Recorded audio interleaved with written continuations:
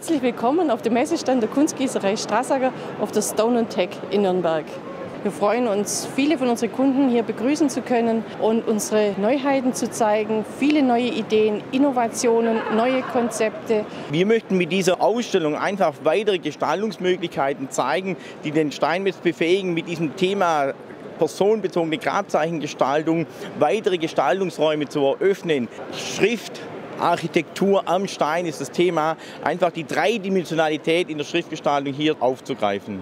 Wir wissen aus verschiedenen Untersuchungen, dass dieser spezielle Ort des Grabes für die Traubewältigung wichtig ist, weil wir wissen, dass dies in diesem Moment des Grabbesuches elementare Dinge in uns äh, passieren, die uns helfen, mit diesem Verlustschmerz fertig zu werden. Je besser es gelingt, den Verstorbenen im Grabzeichen spürbar werden zu lassen, ob es die Namensdaten sind oder die Symbolik oder die Darstellung seiner äh, Eigenschaften, Charakteristiken, je eher hat es die Möglichkeit, den Angehörigen anzusprechen, emotional zu öffnen und auch diesen Prozess für die Traubewältigung in Gang zu setzen.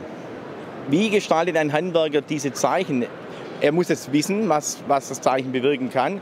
Und dann muss es ihm gelingen, diese Persönlichkeitsmerkmale herauszuarbeiten und in der Form des Zeichens und in der Symbolik zu integrieren. Ein wunderschönes äh, Teil ist hier.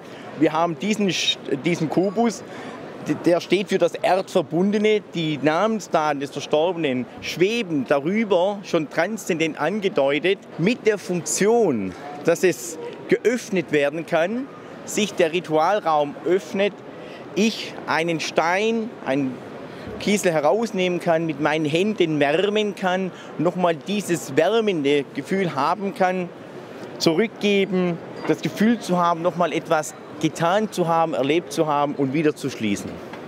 Ja, die ganze Branche ist in Bewegung. Alle haben erkannt, dass Friedhöfe nicht mehr so bleiben können, wie sie waren. Die Friedhöfe müssen sich stark verändern.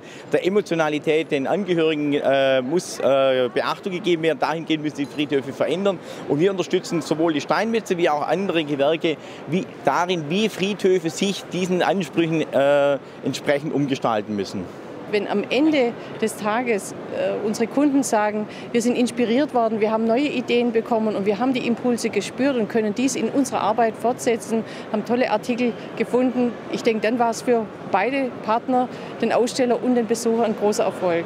Und das wünschen wir uns und dafür strengen wir uns immer ganz besonders an.